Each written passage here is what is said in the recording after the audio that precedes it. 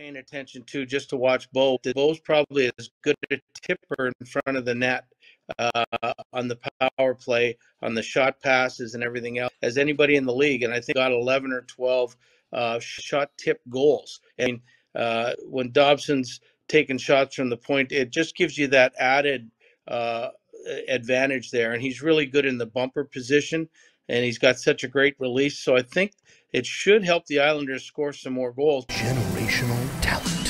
Thanks for liking the video and subscribing.